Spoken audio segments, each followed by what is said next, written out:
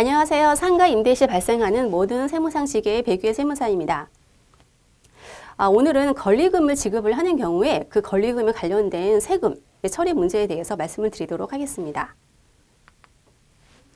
자, 상가 권리금을 주고받는 경우에 이 상가 권리금이 양도인의 양도소득세로 부과가 되는 경우가 있을 수가 있고 그리고 기타 소득으로 부과가 될 수도 있습니다. 근데 만약에 기타 소득으로 발생이 어, 기타 소득으로 음, 분류가 되는 경우에는 양수하는 사람이 그 대금을 지급을 할 때 원천 징수 의무가 있기 때문에 이에 대해서 말씀을 드리도록 하겠습니다.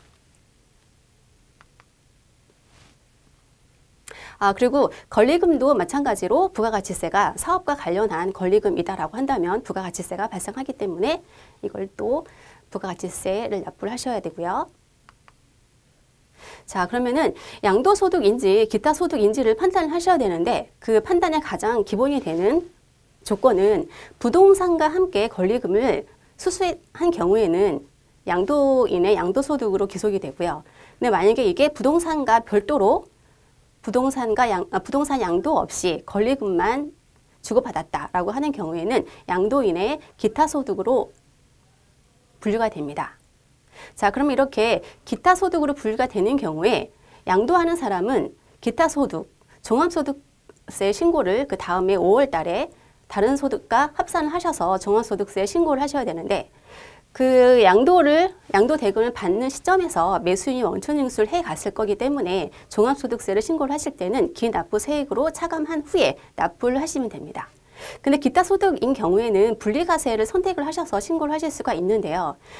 필요 경비를 제하고 난 기타 소득 금액이 300만 원 이하인 경우에는 종합소득으로 신고를 할 때의 금액과 분리과세로 신고한 금액을 비교하셔서 선택하셔가지고 낮은 금액으로 신고하실 수가 있습니다. 자, 그러면 양수인의 그 필요 경비로 인정이 가능한지에 대해서 말씀을 드리도록 하겠는데요. 권리금을 사업상 인정을 받기 위해서 이제 권리금을 매수를 해가지고 사업에 사용을 하고 있어요. 그러니까 그런 경우에는 권리에 해당하는 무형 자산에 해당이 되기 때문에 5년간 감가상각비로 장부에 반영을 해서 경비로 인정을 하실 수가 있고요. 그리고 양수인이 권리금 대금을 지급을 할 때는 기타 소득에 해당하는 경우에는 원천 징수 의무가 있습니다. 음, 원천 징수를 해야 되는 금액은 기타 소득인 경우에는 실질적으로 필요 경비 금액이 발생한 영수증이 없다고 하더라도 일정한 퍼센테이지를 무조건 필요 경비로 인정해 주는 퍼센테이지가 있는데요. 2018년 4월 1일 이전인 경우에는 기타 소득에 대해서 80%까지 인정을 해 주었으나 2018년 4월 1일 이후부터는 70%, 2019년 1월 1일부터는 60%로 경비율이 떨어지게 됩니다. 그러면은 간편하게 계산을 하기 위해서 소득세와 지방소득세를 기타 소득 지급하는 금액에 대해서는 예전에는 4.4%를 제하고 원천 징수를 했으면 됐으나 2018년 4월 1일 이후에는 6.6%를 원천 징수를 하시면 되고요. 2019년 1월 1일 이후에는 8.8%를 원천 징수한 후 어, 다음 달 10일까지 신고 납부를 하셔야 됩니다. 그리고 지급 명세서를 제출을 하셔야 되는데요.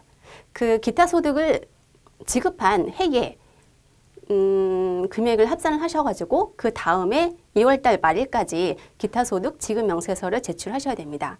이 지급명세서란 무엇이냐면 상세하게 지급받은 자의 소득을 지급받은 사람의 인적사항을 상세하게 기록한 신고서를 말하는데요. 이거를 신고를 하지 않는 경우에는 가산세 2%가 발생을 하기 때문에 유념을 하셔야 됩니다. 자, 오늘은 상가 권리금을 매매를 하는 경우에 세금 문제에 대해서 말씀을 드렸습니다.